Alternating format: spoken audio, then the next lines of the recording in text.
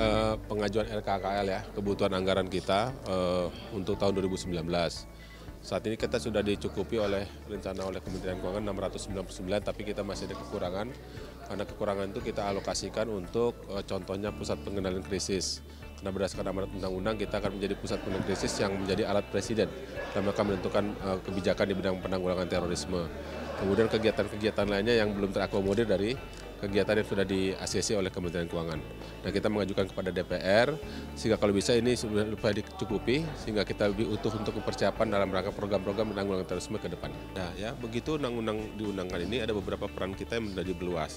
Tapi kan untuk untuk mencukupi itu kan ada tahapan-tahapan. Yang pertama kita restrukturisasi organisasi kita. Kemudian ada penambahan personil kan nggak bisa cepat ya. Untuk rekrutmen itu paling tahun lalu kita cuma dapat e, 60 orang. Tahun ini cuma dapat 120 orang.